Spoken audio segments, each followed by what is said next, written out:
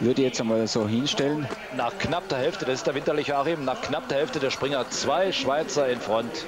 Das hat es noch nie gegeben. Und der dritte kommt jetzt mit sehr guten Bedingungen. Aus Le Brassu. Ja, der passt auch gut. Ja. Schau dir das an, die Ja. Schweizer! Ja, wie geht das, Trainer Vettori? Wie geht das? Ja, jetzt. Und. Ja, Es ist genau im das, was, ganzen Winter nichts gewesen. ja, es ist genau das, was ich gesagt habe. Also Ja, die Kleinchancen ist, ist unberechenbar. Es geht, es geht sehr weit, das muss man auch mal sagen. Steinauer vor Freiholz und Küttel. Schokolatobler. Und mit was für Sprüngen? Mein lieber Mann. Mit Geduld und Spucke, ne? Ja.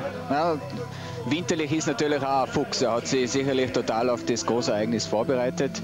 Hat sicherlich auch vom, vom Athletischen her noch mal ein, äh, äh, gute Einheiten gemacht und hat einfach den Weltcup derweil einmal hinten angestellt. Seine Position.